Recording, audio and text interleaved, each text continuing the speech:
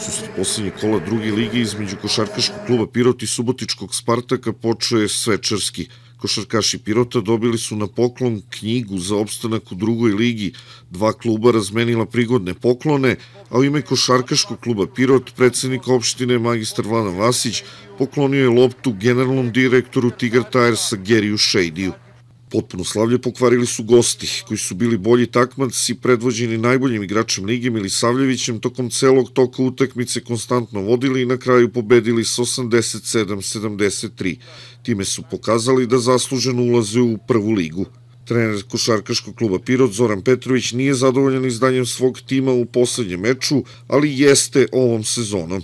Svima je bio praznik, meni baš nešto i nije iskren da budem. E, ova ekipa je ovaj, stvarno kvalitetnija u ovom, naročito u ovom stanju kako smo mi i kakvi su oni, puni samopouzdanja, ušli su u ligu, brži, poletni, skočni, sigurni u sebe sigurno.